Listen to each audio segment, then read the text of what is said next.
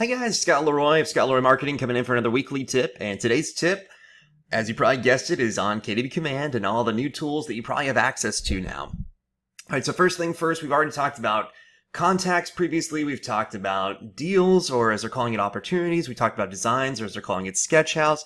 Uh, you'll notice there are a lot of names for a lot of different items on here. All right, but I do want to talk about the contacts one more time, and more importantly, how you can actually create groups on there. All right, so one big difference that you're probably seeing on the contacts on here, so let me click on this, then you're currently seeing other inside, sorry, inside other CRMs like eEdge, for instance, is that there's not a, a group feature on here. All right, so even though it doesn't say groups on here, you can actually create one though. All right, so all you'll need to do in order to create a group, it's pretty simple. All right, you'll click that bulk update option at the top right up here.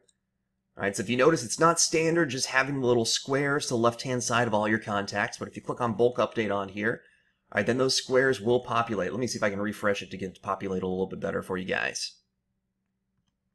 There we go. Alright, when in doubt, refresh. That's the best advice I can give you.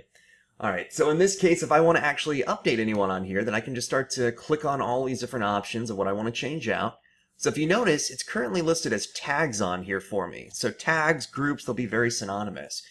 So if I click on these four on here, all right, then I can actually go through and I can select all if I want to. I can select page, I can clear all, all right, or under the select action option, I have two options right now.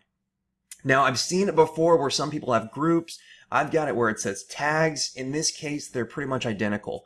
So if I click on add tags, all right, then as you can see, add bulk tags. All right, select the tags that you would like to add to the following contacts. All right, so then I can go through and I can add inside whatever tags I want to. All right, so in this case, maybe I want to put inside marketing, for instance. And then as you can see, once I type that inside, it'll come up with add new group, marketing. So I'll click on that. Here are the different groups that I currently have created.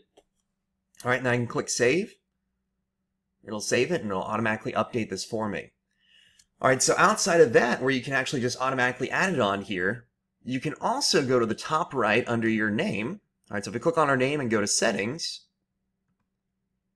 all right, then we have all of our different command settings on here. Nothing too, too crazy right now. All right, so under our settings, you can see all the apps that you've connected, all the contacts you've archived. All right, remember you have to archive them first before you delete them.